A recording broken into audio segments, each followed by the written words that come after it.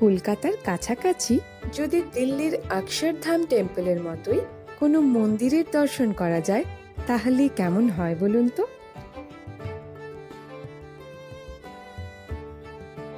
নমস্কার, আমি অরিজিতা।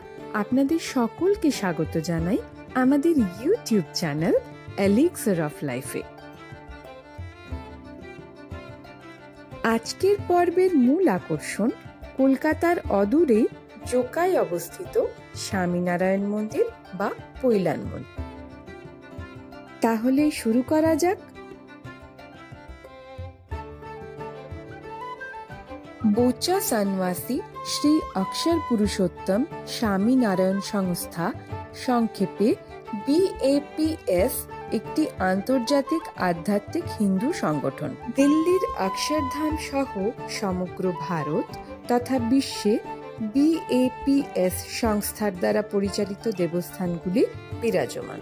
খুব সম্প্রতি আবু ধাবিতে প্রথম হিন্দু মন্দির হিসেবে বিএপিএস মন্দির প্রতিষ্ঠা করেন, যা ভারতের প্রধানমন্ত্রী শ্রী নরেন্দ্র মোদী উদ্বোধন করেন।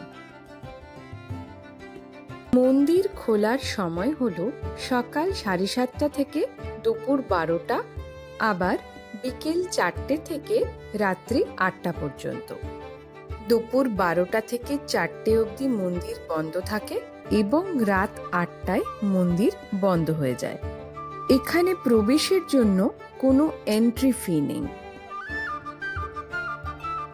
সবুজে ঘেরা প্রকৃতি এবং তার পাশাপাশি ভারতীয় স্থাপত্যকলার বিভিন্ন নিদর্শন চারিদিকে বিদ্যমান। আধ্যাত্মিকতা ও শিল্প নৈপুণ্যের এক সুন্দর সংমিশ্রণ ঘটেছে এখানে।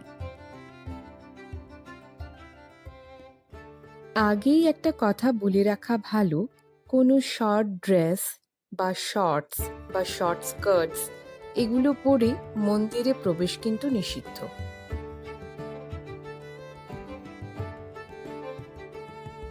মন্দিরের সব থেকে বাইরের প্রবেশপথে এদের দেখা মিলল।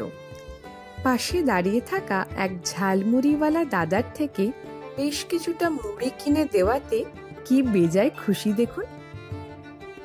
মূল মন্দির চত্বরে যেহেতু মোবাইল ফটোগ্রাফি নিষিদ্ধ, তাই জুম করে যতটা সম্ভব দেখানোর চেষ্টা করছি। অপূর্ব ভাস্কর্য শিল্প। মন্দির গাত্রের কোথাও বা দেবদেবীর মূর্তি আবার কোথাও ভীষণ সূক্ষ্ম কারুশিল্পের প্রতিফলন দেখা যাচ্ছে।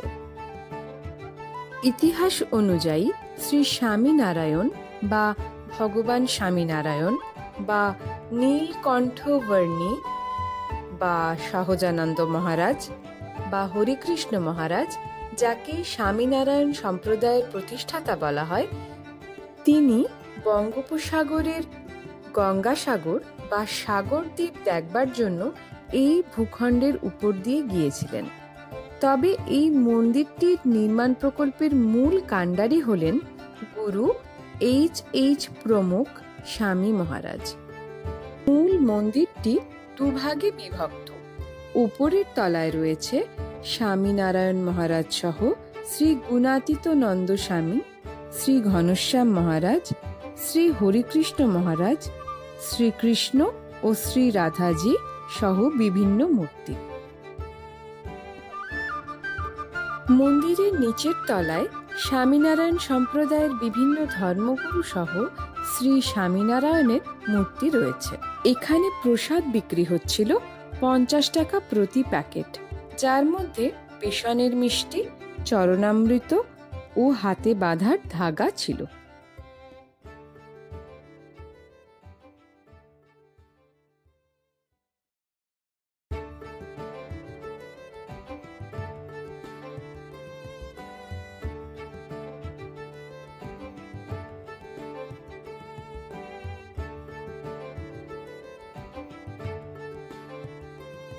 মন্দির থেকে বেরিয়ে একটু এগিয়ে গেলেই মন্দির কমিটির অধীনস্থ সংস্থার কর্মীরা বিভিন্ন সবজি বিক্রি করছিলেন। আর একটু এগোতেই প্রেমাবতী ভেজ রেস্টুরেন্ট চোখে পড়ল। এখানে কিন্তু ভিড়ও ছিল চোখে পড়ার মতো। স্বামীনারায়ণ মন্দির বা পৈলান মন্দির আসার জন্য এসপ্ল্যানেট বা ধর্মতলা থেকে যে কোনো ডায়মন্ড হারবারগামী বাসে আসলেই পৌঁছানো যাবে। এখানকার সব থেকে কাছের রেলওয়ে স্টেশনটি হলো মাঝেরহাট এবং মেট্রো স্টেশন হলো জোকা। কিন্তু রবিবার দিন জোকা মেট্রো পরিষেবা বন্ধ থাকে। এছাড়াও অ্যাপ ক্যাবের সুবিধা তো আছেই। আমরা পৌঁছেছিলাম উবারে। আর রয়েছে সুভেনির শপ যেখানে ধূপকাঠি পারফিউম থেকে শুরু করে বিভিন্ন জিনিস বিক্রি হচ্ছিল। সুভেনির শপ থেকে একটা রোজ পারফিউম কিনেছিলাম। দাম পড়েছিল একশো টাকা। খুব বেশিক্ষণ স্টে না করলেও গন্ধটা কিন্তু খুব সুন্দর। এর পাশাপাশি অনেক আধ্যাত্মিক বইয়ের সম্ভারও কিন্তু এখানে চোখে পড়ল। ভীষণ গরম থাকার জন্য মন্দির চত্বরের এই ক্যাফেটির থেকেই ঠান্ডা পানিয়ে একটু গলা ভিজিয়ে নিলাম। ক্যাফেটির ঠিক পাশেই রয়েছে লেডিস এবং জেন্টস টয়লেট। সব মিলিয়ে কলকাতার কাছে পরিবারের সবাইকে নিয়ে একটা খুব সুন্দর সময় কাটানোর জায়গা, বিশেষত উইকেন্ড বা ছুটির দিনগুলোতে। সকাল এবং সন্ধেবেলা দুটো সময়ে কিন্তু দুরকম সৌন্দর্য চোখে পড়বে। আজকের পর্বটি এখানেই শেষ। আজকের এই ভিডিওটি যদি আপনাদের ভালো লেগে থাকে, তো অবশ্যই লাইক, শেয়ার এবং সাবস্ক্রাইব করবেন। আপনাদের মূল্যবান সময় দেওয়ার জন্য অসংখ্য ধন্যবাদ।